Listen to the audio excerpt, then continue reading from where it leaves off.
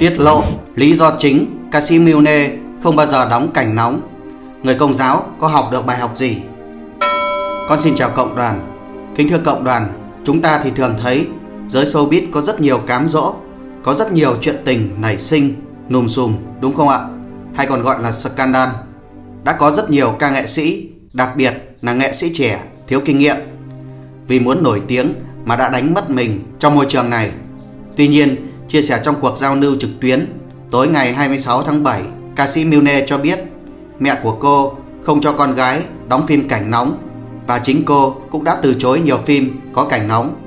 Vậy lý do tại sao và video này thì có liên quan gì đến người công giáo chúng ta?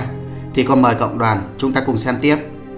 Hãy nhớ ấn like video và đăng ký kênh để cập nhật tin công giáo cộng đoàn nhé. Thưa cộng đoàn, thật là bất ngờ và thú vị khi bản thân Thành Long Vlog phát hiện ra ca sĩ Miu Lê là người công giáo. Đa phần các ca nghệ sĩ công giáo vì sức ép hoặc vì áp lực từ phía khán giả nên mặc dù theo đạo công giáo nhưng họ vẫn không tuyên xưng đức tin của mình. Tất nhiên, cũng có những ca nghệ sĩ thì thường xuyên tuyên xưng đức tin, niềm tin công giáo, tình yêu của mình vào Thiên Chúa như ca sĩ Phan Đinh Tùng, ca sĩ Đàm Vĩnh Hưng, vân vân. Trong video này, chúng ta sẽ tìm hiểu về niềm tin tôn giáo của ca sĩ Milne trong một môi trường làm việc đầy cám dỗ. Thưa cộng đoàn, ca sĩ Milne tên khai sinh là Lê Ánh Nhật, sinh ngày 5 tháng 7 năm 1991 tại thành phố Hồ Chí Minh. Hồi nhỏ, cô học ở trường Trung học phổ thông Võ Thị Sáu, thành phố Hồ Chí Minh. Cô được công chúng biết đến lần đầu tiên khi cô tham gia đóng bộ phim Những Thiên Thần Áo Trắng. Hiện nay, cô là một trong những cái tên rất thành công ở nhiều bộ phim điện ảnh. Nhà con Lâm nàng tiên, Em là bà lội của anh, Bạn gái tôi là sếp và mới đây nhất là cô gái đến từ hôm qua của đạo diễn Phan Gia Nhật Ninh. Một đặc điểm chung của các dự án điện ảnh mà cô tham gia và các MV ca nhạc của cô là tất cả đều không có cảnh nóng hay hình ảnh gợi cảm nào đó. Lý do được Milne chia sẻ là bản thân của cô không đủ gợi cảm để đóng những cảnh quay mùi mẫn trên phim. Nhưng điều quan trọng hơn là từ phía gia đình cô. Cô chia sẻ, gia đình của tôi rất khó tính, mẹ tôi không chấp nhận cho tôi đóng cảnh nóng. Bản thân tôi cũng cảm thấy mình không phù hợp và cơ thể không gợi cảm. Ngoài chuyện đóng cảnh nóng thì ca sĩ Milne còn tâm sự ba mẹ của cô rất khó tính, khó đến mức khó hiểu. Khi đó là cuối năm lớp 7, đầu lớp 8. Trong giờ tan trường là 11 giờ 15 phút thì đúng 11 giờ 45 phút tôi phải có mặt ở nhà. Trễ một phút là tôi bị ăn một roi. Nếu trễ quá lâu thì cởi hết quần áo đứng ở trước nhà. Hồi đó thì tôi cũng lớn rồi nhưng vẫn phải cởi đồ ra để đứng.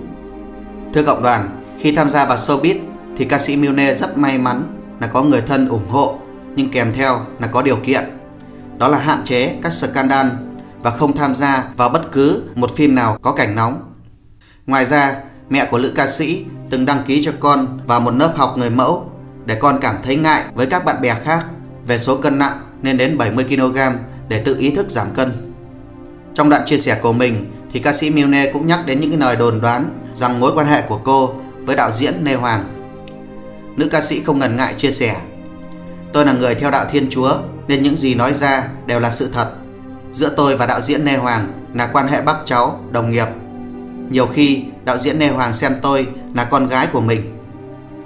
Hiện tại, ca sĩ Milne đang ấp ủ những dự định trong thời gian sắp tới khi thay đổi ngoại hình với mái tóc ngắn.